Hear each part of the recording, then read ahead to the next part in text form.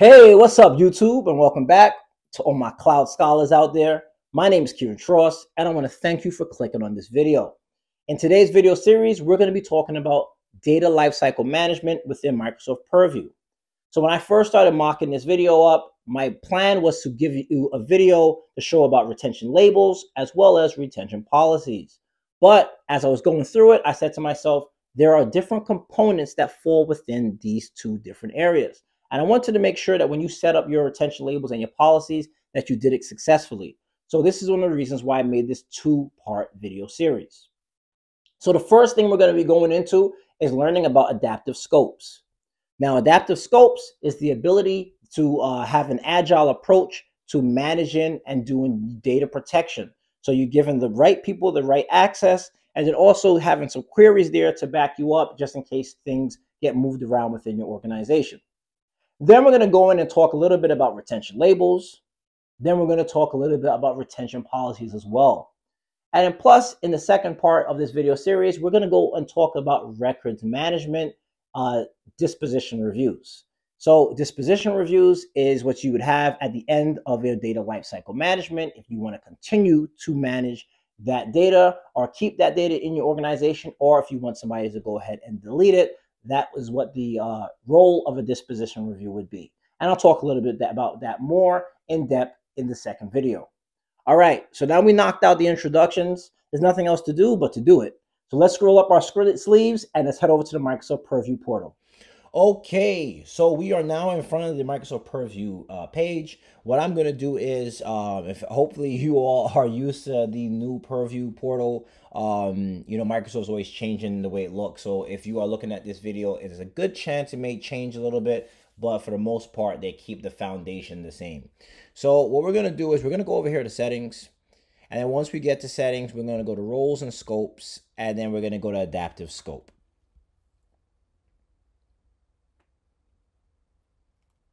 So one of the first things I want to do is I kind of want to talk a little bit about adaptive scopes to get you a better understanding of how powerful this tool is. And it will make a lot more sense once we get to a point of doing retention labels and retention policies. But let's just jump over here to adaptive scopes. So uh, when you first get in here, um, this is the page. You type in adaptive scopes and you go to and type in purview, you'll get this information. So let's kind of go through this documentation together. It says when you create a communication compliance policy or a policy for retention, you can add an adaptive scope for your policy. A single policy can have one or, or many adaptive scopes. And this is one of the reasons why I wanted to talk about this because when you get to policies for retention, you might say, okay, what does that mean? And have a better understanding of how you can apply these policies and also shorten down your administrative time. So what it says here is an adaptive scope uses a query that you specify so you can define the membership of users or groups included in that query. These dynamic queries run daily against the attributes or properties that you specify for the selected scope. You can use one or more adaptive scopes with a single policy. That is very powerful. Instead of having like 8, 10, 15, 20 policies, you can have one policy and it could be doing a whole lot of different things and pulling in the right users or the right SharePoint sites based on the scope of your query. So down there in the example, it says you can assign different policy settings to users according to their department by using existing Microsoft Entra attributes without the administrative overhead or creating and maintaining groups for this purpose. So, you know, I just read basically what I said um, earlier. Um, so that's pretty good, right? Um, so there are certain advantages of using adaptive scopes. So um, no limits on the number of items per policy, although adaptive policies are still subject to the maximum number of policies per tenant. Uh, limitations, the more flexible configurations will likely result in far fewer policies. More powerful targeting for your policies. You also have query-based scopes provide resilience against business changes that might not be reliably reflected in group memberships or external processes, processes that rely on cross-department communication.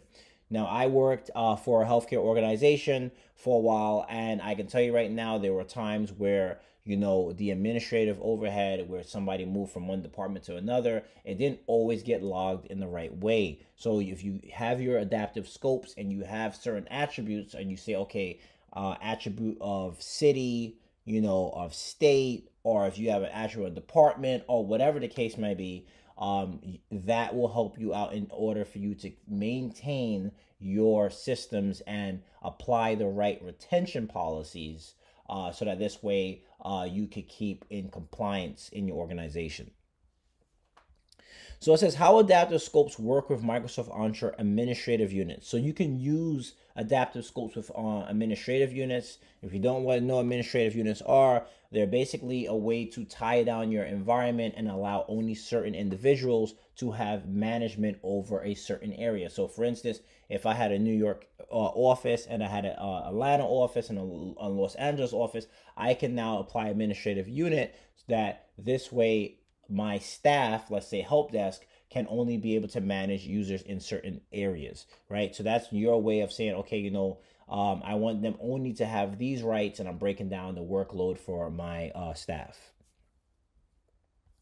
So I want to go a little bit further down because I really want to get into um, this area, right? Maximum maximums for adaptive policy scopes says there's no limit to the number of adaptive policy scopes that you add to a policy, but there are some maximum limits for the query that defines each adaptive scopes. So for instance, a string length for attributes or property values is 200. Number of attributes or properties without a group or within a group is 10. The number of groups is 10. Number of characters in an advanced query is 10,000.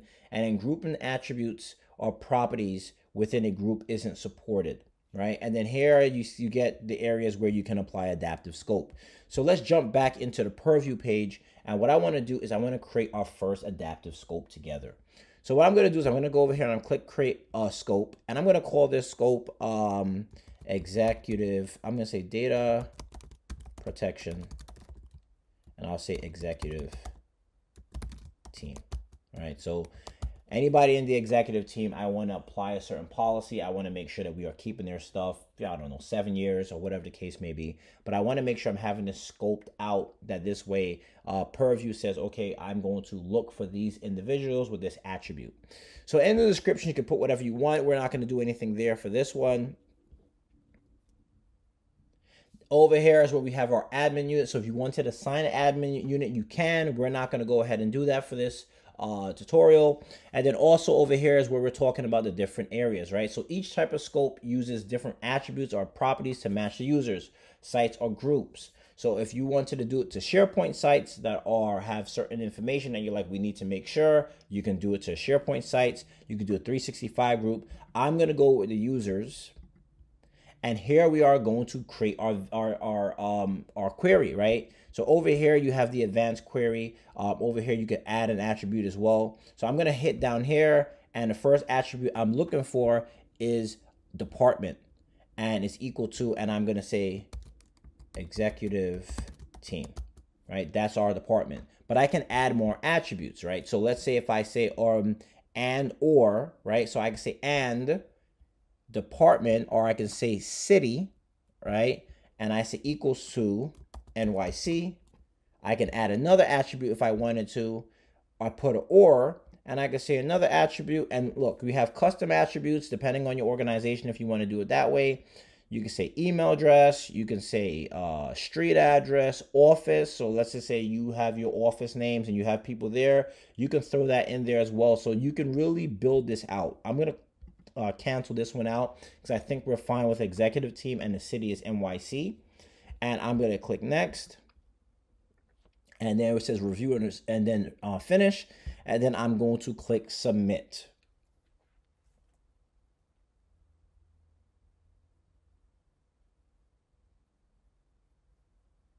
Okay, so great. So it says your scope was created. Um, it could take up to three days for the queries to fully populate, so the changes aren't immediate. Factor in this delay by waiting a few days before you add a new query scope to a policy. So it does take a little bit of time. Um, we, we are able to wrap that up. See, adaptive scopes aren't really, it's not difficult to do. Um, Microsoft makes it really easy for you, but it's really the powerful when you start adding on different things, right? So let's keep in mind what this article said up here is that adaptive scopes, right, can be used when you create uh, com uh, communication compliance policies or policies for retention. So I wanted to knock this video out. I uh, wanted to make sure I created this video because when we get to the policies um, and creating those, I want to make sure that you understand exactly um, what I'm talking about. Yeah, so please continue watching this series. Um, what I would say to you is if you haven't done so already, please smash that like and subscribe button. Uh, here at Cloud Scholars, my goal is to get you from scholar to consultant and, of course, consultant to expert. Thank you and see you next time.